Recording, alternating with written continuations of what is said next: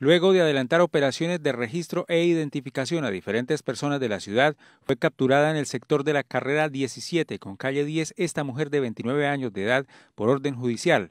Los delitos que afrenta son concierto para delinquir y tráfico, fabricación y porte de estupefacientes. Sí, en este puente festivo se realizaron dos capturas, una por orden judicial y otra en flagrancia. La primera es una mujer que expendía droga aquí en el municipio, fue capturada por concierto para delinquir y tráfico y expendio de estupefacientes. Esta mujer requerida por el juzgado, ya teníamos días buscándola, se halló. Otro de los resultados reportados fue el hallazgo mediante acciones de patrullaje de dos cajas fuertes que habían sido hurtadas días atrás, las cuales superan el valor de los 2 millones de pesos.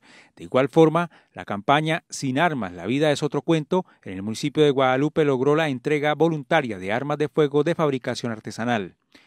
De otra parte, la reciente unidad de carabineros integrada al municipio ha sido recibida con agrado y ya tienen tareas definidas.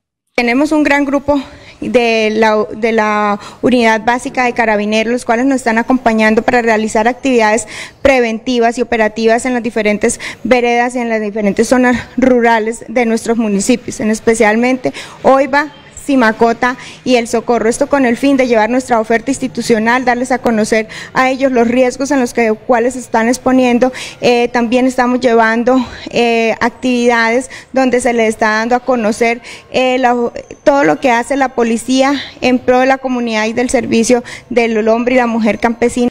El segundo distrito de policía continúa realizando campañas y acciones con temas preventivos del delito para evitar extorsiones y otros delitos de los que pueden ser víctimas los ciudadanos. Que no nos dejamos extorsionar, de que debemos denunciar los casos, de extorsión. Por otro lado, tenemos que verificar en el transcurso de una vereda a la otra los niños que estudian. Entonces, estamos realizando el acompañamiento de los menores para evitar eh, casos eh, adversos. Por otro lado, estamos realizando la visita a los colegios porque estamos garantizando que nuestros niños vayan a estudiar, que todos los niños deben ir a estudiar y estamos verificando por qué la deserción eh, estudiantil en algunos de los establecimientos.